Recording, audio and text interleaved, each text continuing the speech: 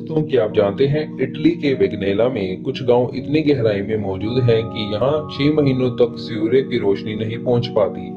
यहाँ लोग धूप को अपने घरों तक पहुंचाने के लिए पहाड़ों पर शीशे लगाते हैं